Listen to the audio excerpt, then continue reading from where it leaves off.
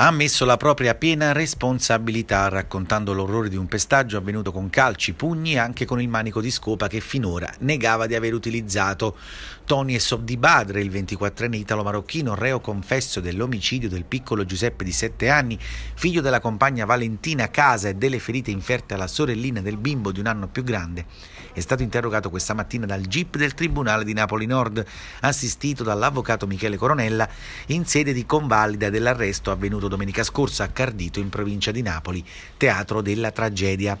L'uomo ha ammesso di aver colpito i bambini con calci e pugni ed anche con il manico della scopa e che la compagna ha tentato invano di fermarlo. Un particolare rilevante oggetto di attenzione da parte dei magistrati, questo per capire se ci siano state responsabilità nella drammatica vicenda. È un ragazzo in crisi, distrutto, insomma, non riesce ancora a capacitarsi come abbia potuto fare diciamo, un,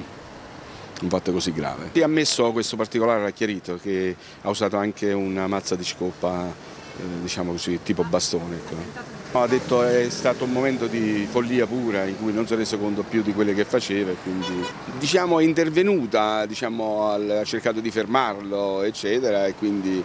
eh, c'è stato questo vuoto di due ore, tre ore che forse si poteva fare qualcosa per, eh, diciamo, lui era sceso giù per chiamare un un'auto di passaggio, diciamo così, voleva un, un, fatto occasionale, non hanno provveduto a chiamare immediatamente un'ambulanza, forse il vuoto è lì, la cosa più,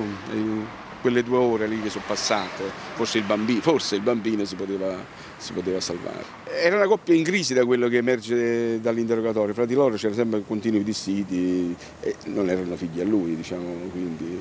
eh, ogni occasione era buona da bisticciare, poi come ha perso il controllo.